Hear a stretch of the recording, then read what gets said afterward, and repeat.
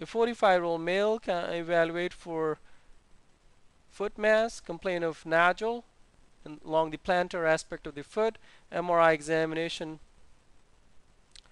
of the foot is performed. There is approximately 1.5 centimeter T2 hyperintense mass arising from the lateral plantar nerve with near uniform enhancement on the post-contrast images with a central focus of decreased signal intensity.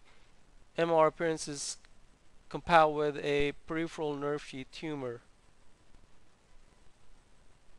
There is a approximately 11 millimeter T2 hyperintense lesion present in the third intermetatarsal space associated with its uh, respective nerve, plantar nerve. This lesion shows much less enhancement on post-contrast images